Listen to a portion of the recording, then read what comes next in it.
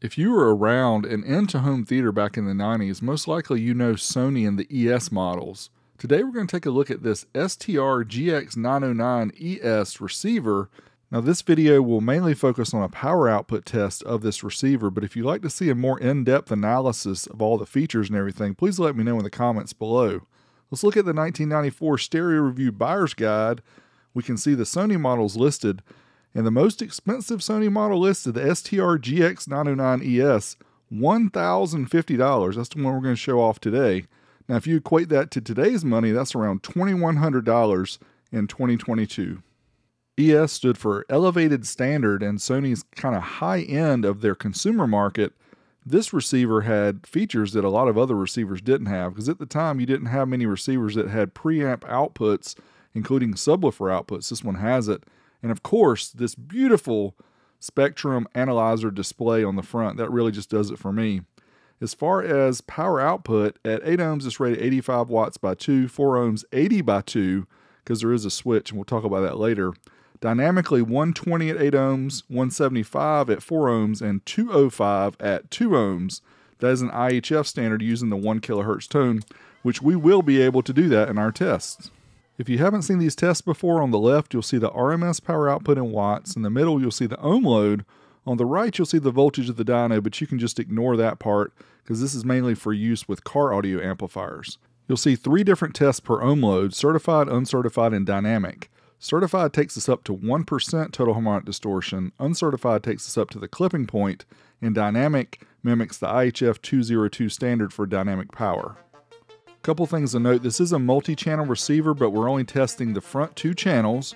Also, Sony rates it at a low THD. We are testing up to 1% THD, so we would expect a little bit more output power.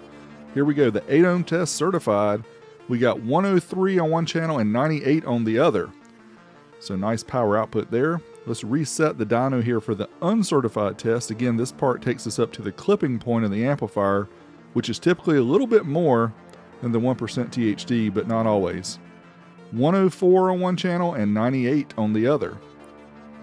Now, we would not expect the channels to be exact, especially with this receiver being the age that it is and it still has the original caps and all that stuff. Dynamic power is rated 120 by 2, as shown in the earlier ratings, so we got above that 139 and 130.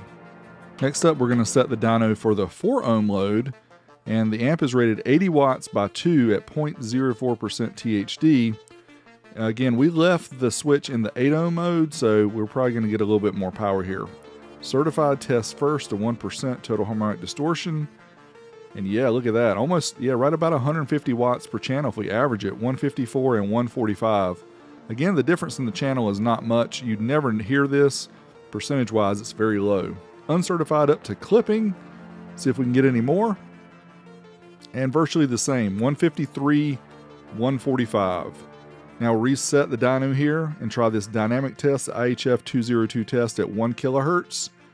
The amp is rated 175 by 2, but as you can see, we got just over 200.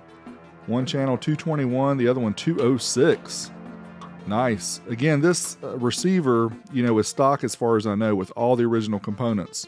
Next up, we're going to get crazy and try the 2 ohm stereo where it's rated dynamically 205 by 2.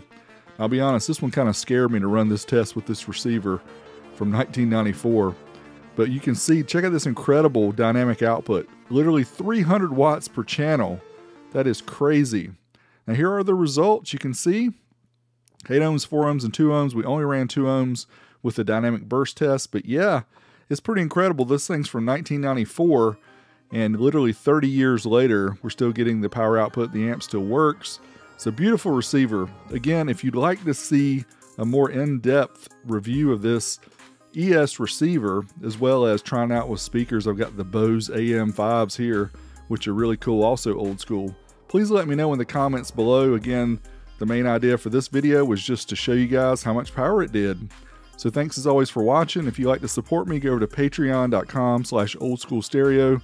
A big shout out to all my patrons. Thank you for your support. Until next time, Big D, I'm out of here.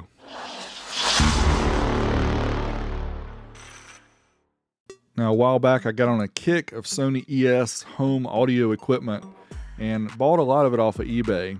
And just want to get a shout out to the seller here. You can tell really took care in packaging this STR GX909 ES receiver, which was much appreciated. So that way it can show it to you guys and uh, you get to appreciate it looking at it in 4K. This is awesome. If you, again, if you want to see more on this, let me know. Big D, I'm out. You know how them sound waves go? Hustle hard, hustle every single day. I'll be making moves till I'm buried in my grave. Uh, to the system, I don't wanna be a slave. I've been doing shit my way, uh, or the highway. And in the driveway is a nice range.